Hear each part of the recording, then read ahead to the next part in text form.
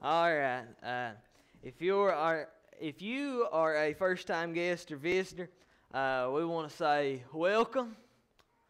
Welcome. We're so glad that you're here. Maybe uh, it's your first time in a long time. We want you to know uh, that we love you, and we're so glad that you're back with us. And uh, we are in a series on focus on focus. And uh, what we're learning is that God wants us to live a life of focus, a life focused not only on Him, but what He has given us to do in our lives. And uh, we learn that uh, if we're going to keep our eyes on uh, what God has made us to do, on the focus of our life, that we have to take our eyes off some other things. We have to take our eyes off of some things. Uh, you can't live a life of focus and live a life of distraction. Uh, you have to pick one or the other, and we learned last week that God's plan for our life is not a life of chaos, a life of craziness. But uh, I want to continue in that same line today. But before we get going, I want us to pray one more time and ask uh, God's blessing on us as a church and on this message. So if you would pray with me. Uh, Father, we uh, come to you this morning, and more than anything, we want to let you know that we need you. Father, we need you in this moment. We need you uh, in the moments to come. Father, we need you uh, in every single moment of our lives. Father, we pray that you would open our hearts to hear your word. Father, and we pray that you would uh, make our hearts ready to receive it. Father, let us be fertile ground this morning, ready to receive what you have to say to us. Lord, we love you. And we thank you, God. We pray that you would uh, hide me behind your cross, and God, that you just make up for my shortcomings. Father, you be sufficient where I'm insufficient. God, we need you and we love you, and it's through Jesus we pray. Amen. And so today I want us to have a conversation around the idea of Sabbath. Sabbath, and I know that many of us in the you may be uh, at least vaguely familiar with that term, but I want us to uh, have a conversation about that for the next few moments. And uh, I want to explain to you some things about Sabbath and where it started and what it means for us today. And uh, when we're talking about the idea of a Sabbath, what we really mean is a day off, and I'll explain that in just a minute. But this idea of a day off, it goes all the way back to the beginning um, in creation. And if you're here and you're a guest, you may not believe everything that we believe. And, and if you don't believe everything we believe, that's cool. Uh, but you probably won't change what we believe. Uh, we believe that uh, God created everything, okay? We believe in, in, in six literal 24 hour days, God created the heavens and the earth. And there's some people who uh, are Christians and they don't necessarily believe just that. They believe God created things, but uh, not necessarily in that time frame. But for us, we believe six 24 hour days God created the heavens and the earth and the animals and the plants and everything in creation. And at the end of those six days, uh, God took a 24 hour period off. He said, I have worked six days and I took one day off. And he said, I want for forevermore, I want to call this day a Sabbath day. And so you, he set up our week from the very beginning where we work six days and we rest one day. That's where the weekend first got started. And so when the weekend comes around and you say, you know, thank God it's Friday, you can really thank God it's Friday because he designed the weekend, okay? So, uh, when God said, I'm going to rest and I'm going to take a day off, He said, I'm going to set aside the Sabbath day to, and keep it holy. And uh, I know that that might sound familiar, but you're not sure exactly what a Sabbath day means, and you might not even be sure what holy means. So I want to kind of cut through some of that churchy lingo. Uh, the word Sabbath, it means to cease, to cease or to stop or to rest. And so um, when God said, I'm going to establish a Sabbath day, He literally meant, I am going to establish a day of rest. And then when he said, I want to keep it holy, holy means to set apart or to separate for God's use. And so when God said, I want to make a Sabbath day and keep it holy, he literally means, I want you to take a day off and I want you to focus on me in that day. That's what Sabbath day means. And I want to make clear this morning that God did not take a day off after six days of work because God got tired. That wasn't why God took a day off. God took a day off after six days of work because He knew we would get tired. He knew that because we were limited, because we uh, didn't have the same kind of power that He had, that we would need a day off after six days. And so He took off that one day to set an example for us about how we should live our lives. He set the example from the beginning. But the biggest thing that I want you to know going into this message about the Sabbath day is that the Sabbath day is a gift from God. It is a gift from God, and it is not a heavy burden to be carried. It is a gift from God, and it is not a heavy burden to be carried. And it was a gift from God uh, because God loved us and God realized that we would need rest in our lives, that we would need time every week to unwind and let our mind come down off of the high of life where we're so worried about work and we're so worried about sports and we're so worried about our families. We would need a time during the week where we could just let loose, where we could just sigh a sigh of relief. We would need time. And so God gave us this gift of a day off. he knew that we were weak and that we would need time from the beginning. So the Sabbath day was established from the very beginning and later on in the book of Exodus.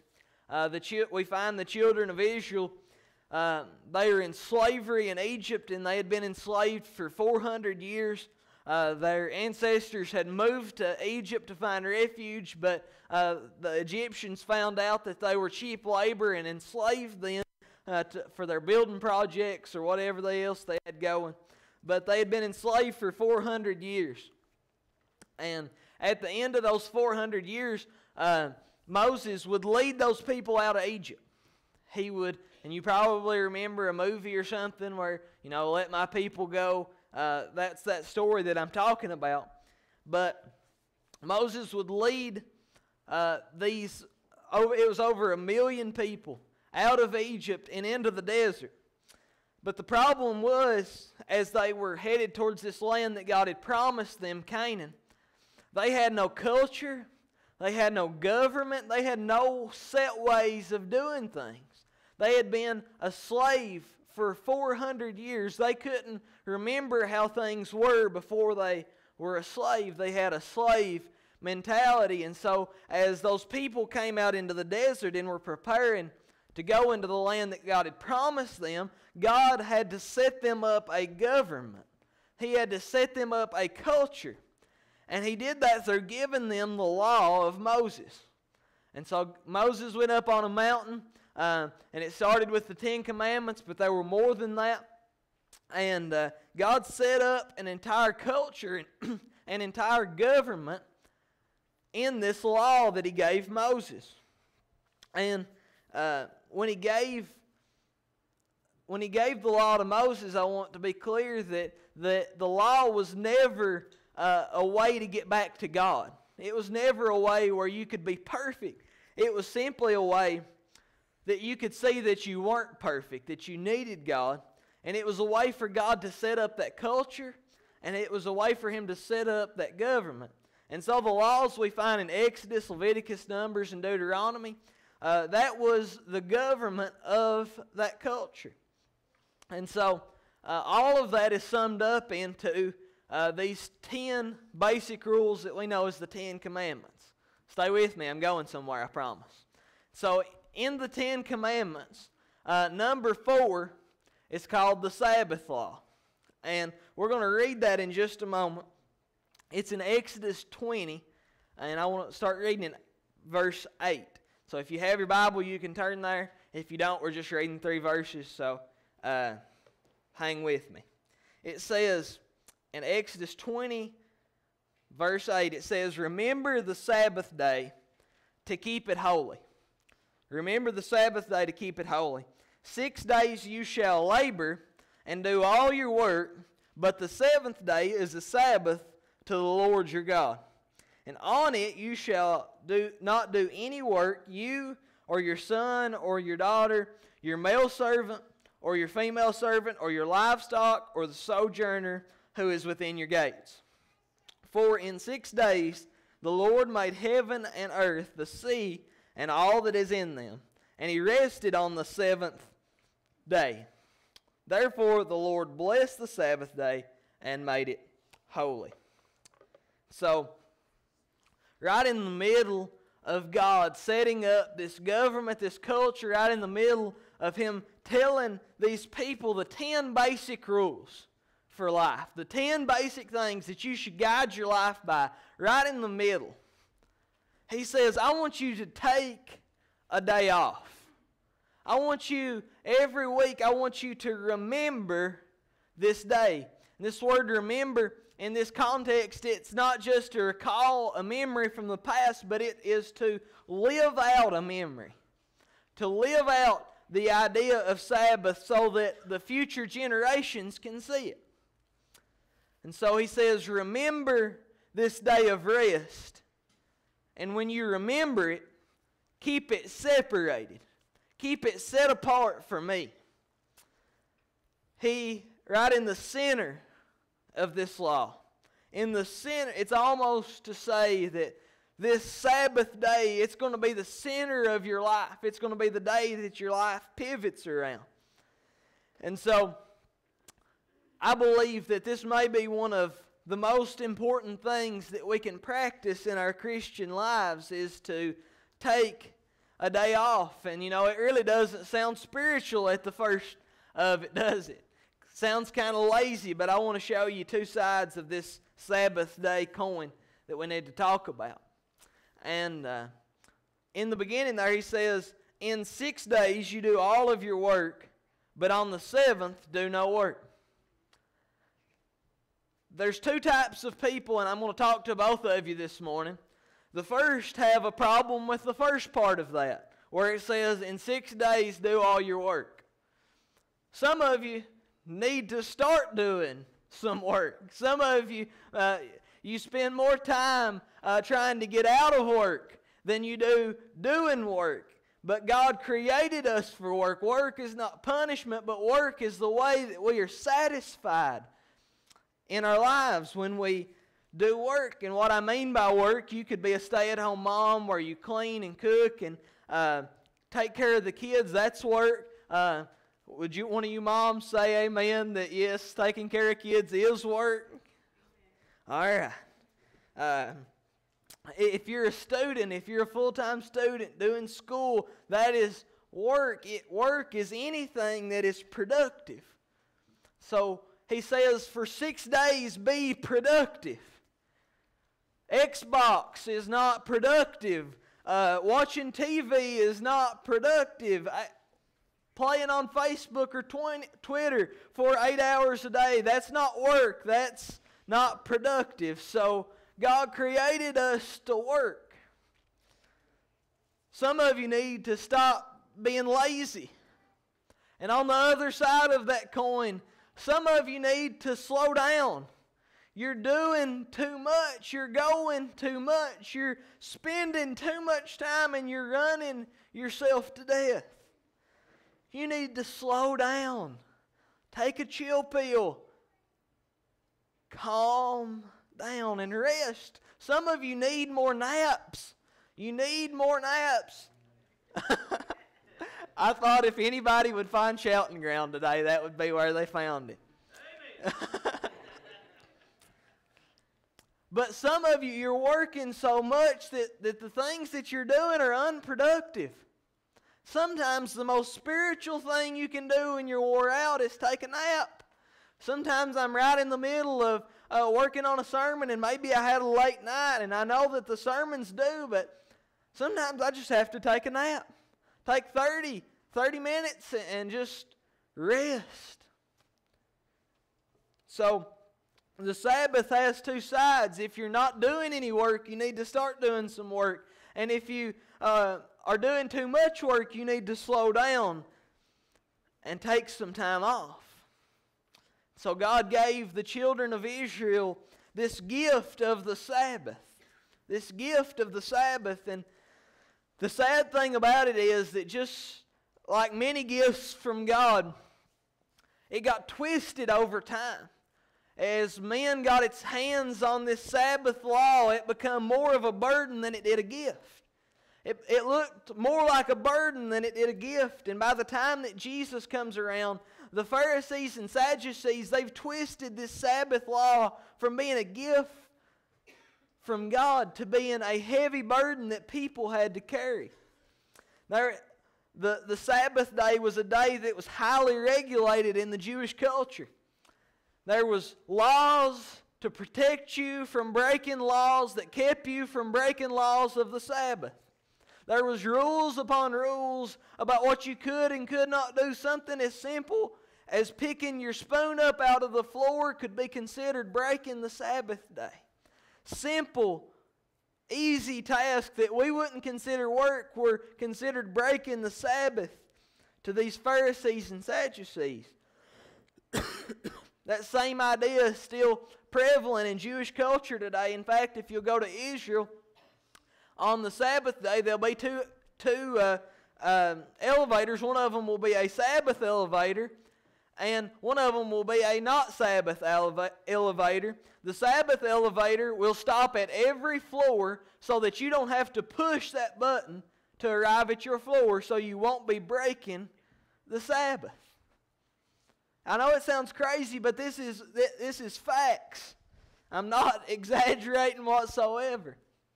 And so when you go to Israel, there'll be a huge line on the Sabbath day for this one elevator.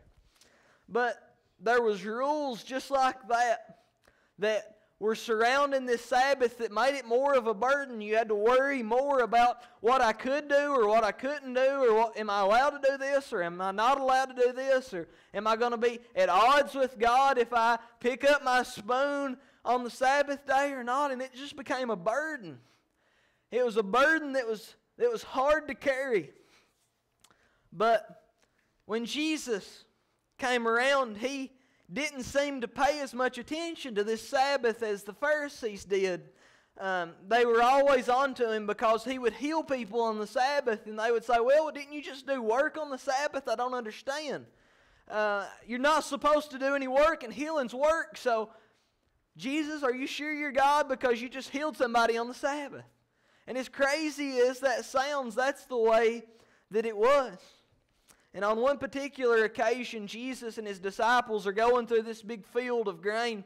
And it says that they reach down and they plucked some heads of the grains off and they ate them because they were hungry. And the Pharisees uh, began pounding Jesus, ridiculing Jesus because how could these men be holy men if they're breaking the Sabbath? But Jesus responds like this. In Mark 2 27 and 28, he says, Jesus replies to these Pharisees by saying, Then Jesus told them, I may have mine wrong here. The Sabbath was made for man, not man for the Sabbath. Therefore, the, the Son of Man is Lord even of the Sabbath. So Jesus was saying that the Sabbath is not our master. The Sabbath is not something that we worship. The Sabbath is a gift that God has given us. And so the Sabbath is not a burden where we have to figure out if we're in the right or if we're in the wrong. Uh, when, when it comes to God, the, the Sabbath is not a burden, but the Sabbath is made for us to relax and rest in the love of the Father. He is Lord of the Sabbath. The Sabbath, Sabbath is not the Lord. Okay? Is that clear? Clear as mud. All right. The writer of Hebrews, we really don't know who he is, but he's writing to a group of Jewish people. And uh, he wants to explain what the Sabbath means to us as New Covenant believers. And in Hebrew, Hebrews 4, he says this Therefore, while the promise of entering his rest still stands, let us fear lest any of you should seem to have failed to reach it. For good news came to us just as to them but the message they heard did not benefit them because they were not united by faith with those who listened. For we who have believed, we who have believed enter that rest. As he said, I swore by my as I swore in my wrath, they shall not enter my rest. Although his works were finished from the foundation of the world. For he has somewhere spoken of the seventh day in this way. And God rested on the seventh day from all his works.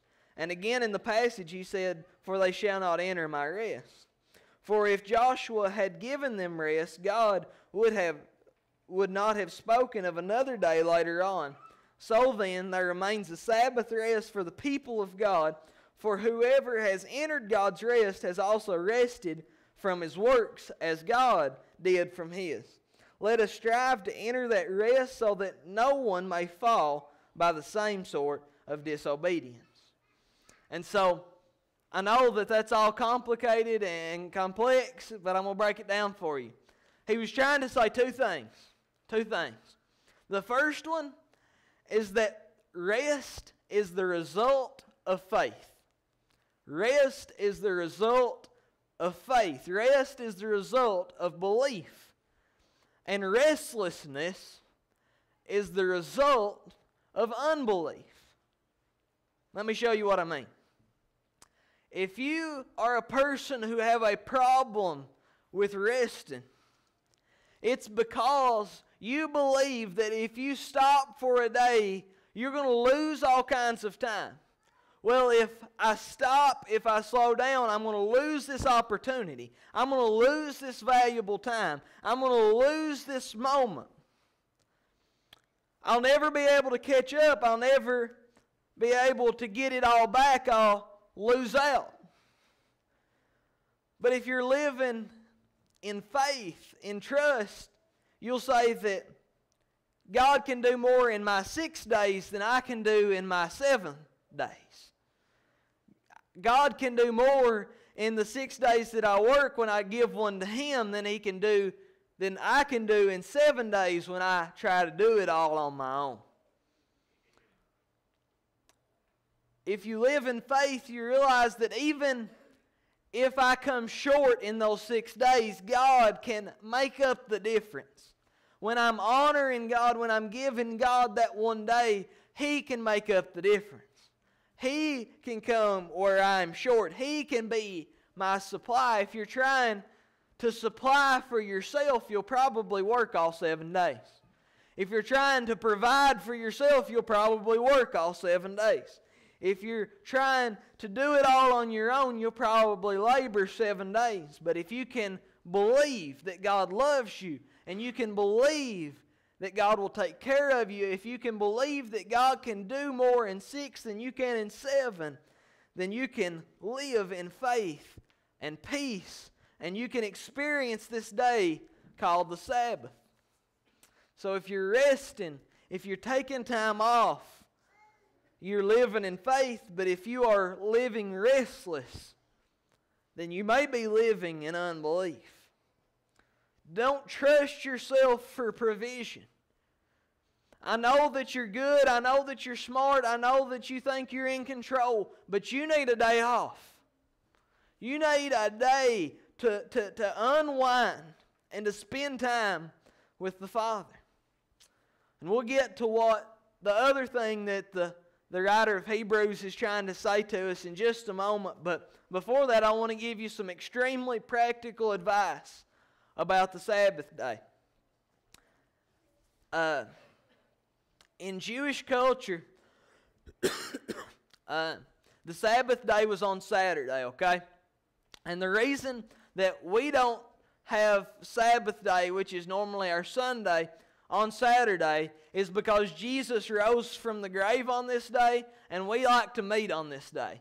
There's nothing more special about this day than a different day, just the way our culture is set up. This is the day that we worship on, okay? But I understand that not everybody has this day off. Okay, and so there's um, maybe you're here this morning, or maybe uh, you'll you'll watch later on uh, on a video or something. Um, if if you have to work on Sundays, like I work on Sundays here, Sunday's not your Sabbath. You need to pick a different day in the week that you take off and that you rest. So I don't want you to feel bound down to a day. Not everybody can have Sunday off. If they could, you wouldn't have fried chicken when you left here today. Okay? So we don't want everybody to have a day off. We want I'm just kidding. Uh, but don't feel obligated to Sunday. I have to take a different day off during the week. And I'll just be honest with you, sometimes I can't take 24 hours off. Okay? Sometimes I can just take 12 hours off because somebody uh, needs something or I have to go to work or something another. But take time. If I can get 24 hours for my Sabbath day, I will. I promise you because I need it. I need that time to unwind. I need that time to relax. And so the day is not as important as what you do on the day. Okay? So I want to give you some extremely practical stuff. If you want to write these down, uh, uh, that would be good. The first thing that you need to do on your Sabbath day is spend extra time in God's Word. We need, we need time in God's Word every day, but if you normally spend 15 minutes in God's Word, try 30 on this day. Just, just try to do, spend more time in God's Word and in worship to God. The, another thing that you need to do on your Sabbath day is spend time with family and friends. Not the family that you're frustrated with when you leave, not the family that, that you're mad at when you leave, but you need to spend time with some people that are going to make you laugh. You need to spend time with some people uh, who maybe you can laugh so hard that you cry, okay? Uh, you need to spend some time with people who you love to be around.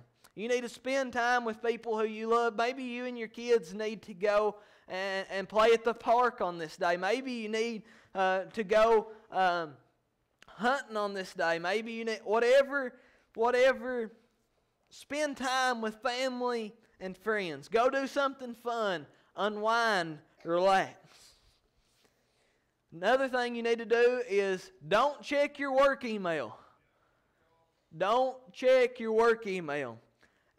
I know that it's tempting. I know that, that you uh, really need to, but just leave work at work for one day a week. Just unplug from work. Don't call into work to see how things are going. Just unplug from work. Unplug from school. Unplug and, and just take one day off. Just let your mind rest for one day. So don't be reading your work email. Another thing is do something you love to do. If you like to hunt, when it's hunting season, I take one day a week so that I can go hunt. If you like to ride bikes, then go ride bikes for a, a while on your Sabbath. Whatever it is that you like to do, take time to do that on this day. Uh, take a nap. Take a nap on your Sabbath day. Schedule the day off from everything just so that if, if you need a nap sometime during the day, if you ride your bike 100,000 miles like some people do, uh, and you're tired when you get back, so you can take a nap. Sometimes the most spiritual thing you can do is a nap. I, I love naps, in case you hadn't realized that yet. Another thing that's very important is just keep your mind on God all day long as you're out, uh, maybe you like to hike and you're out looking at all of God's creation, just just thank Him. Say, Lord, I, I, thank you that you've given me legs to walk on and, and these trees to look at. And God, I thank you for all this stuff you've created for me to do. Thank you for the ability to experience pleasure in my life. And here's one that might be hard for you, but I think it'll pay off. Stay off social media. Just don't worry about everybody else. You just do you that day. You don't have to post a picture on Instagram that you're out hiking. Just just relax. Take a deep breath. Don't worry about things. Put it off for one day. And I promise, when you take this one day off, you're going to be more productive the other six days. You're going to be more productive. You're going to uh, be better at your job. You're going to be a better husband. You're going to be a better wife when you will take a day off to unwind. You wasn't created to go, go, go, go, go all week.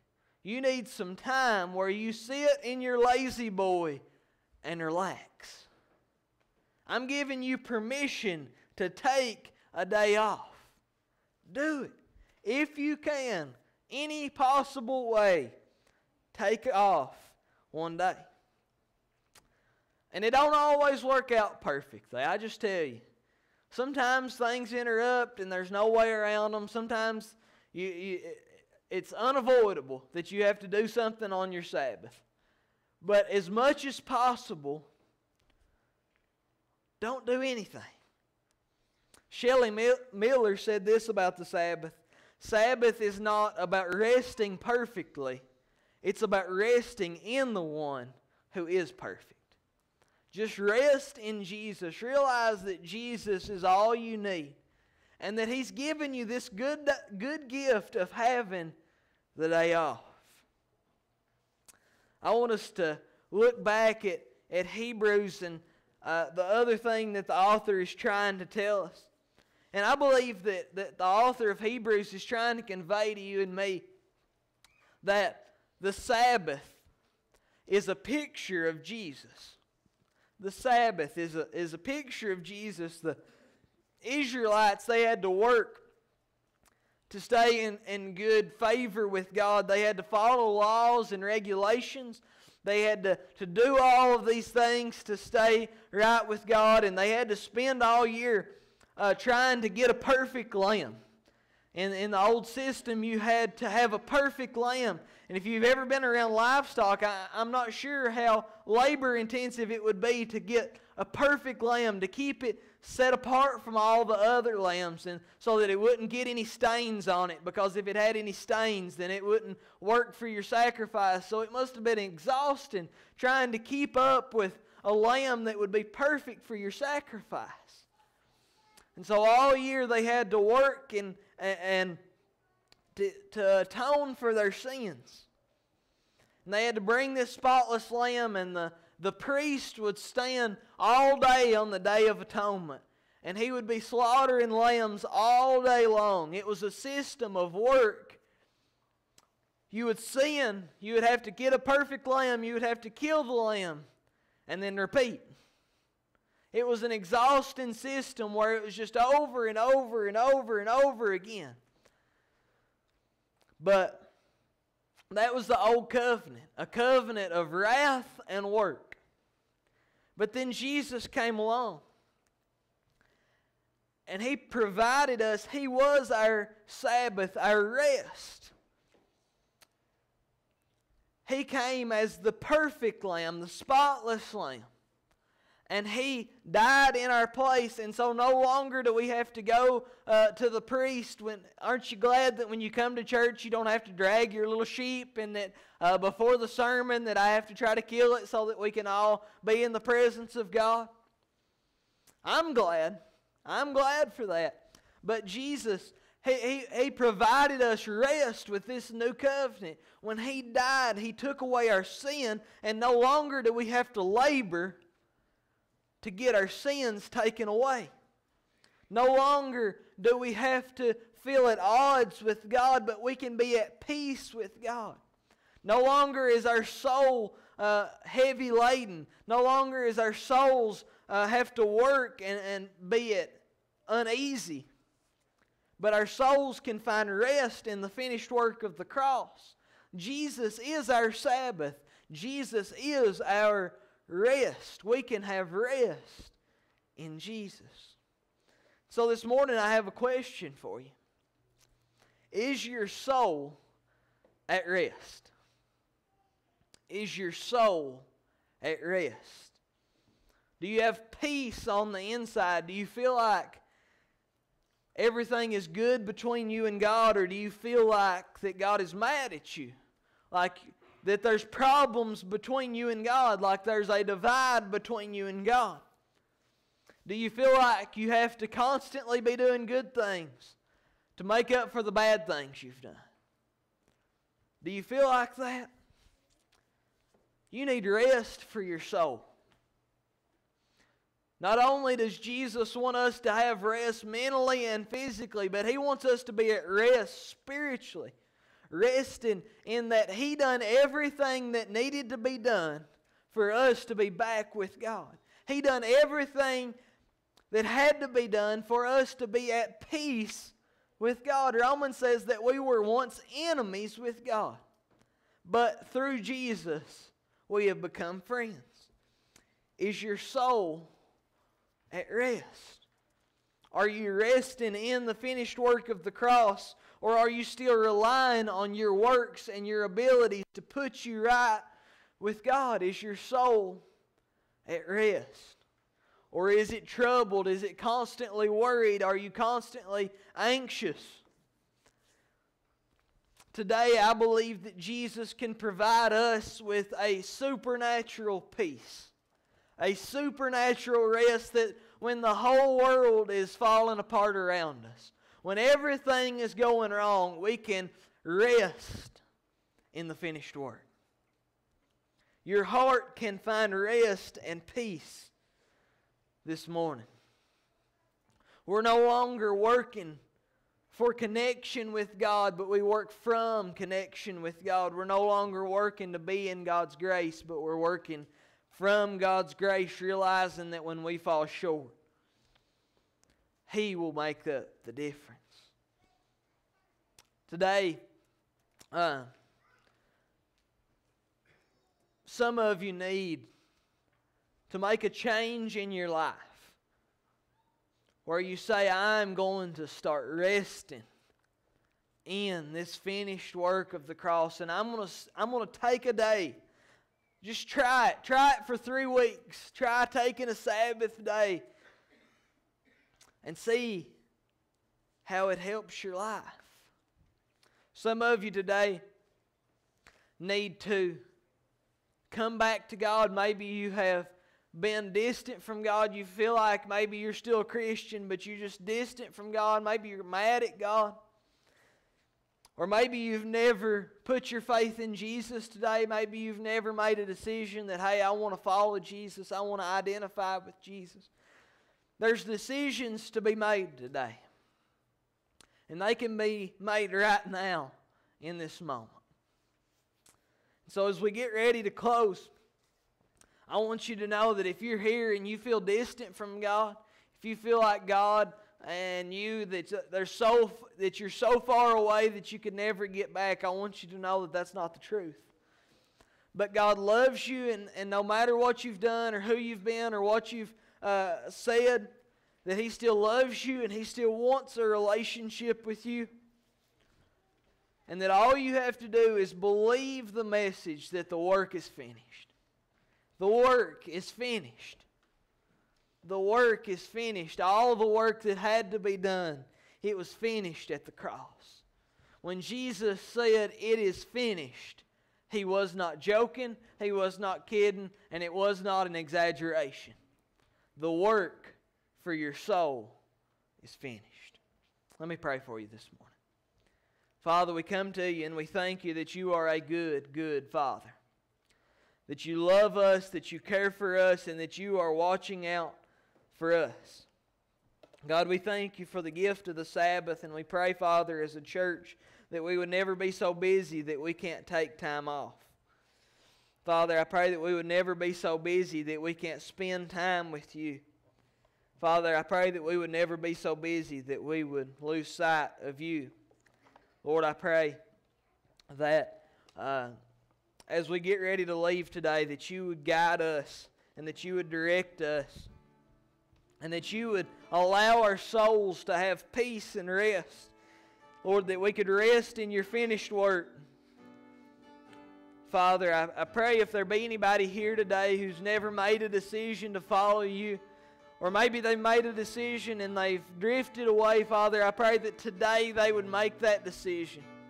That yes, I want to be a believer in Jesus. Yes, I want to follow Jesus.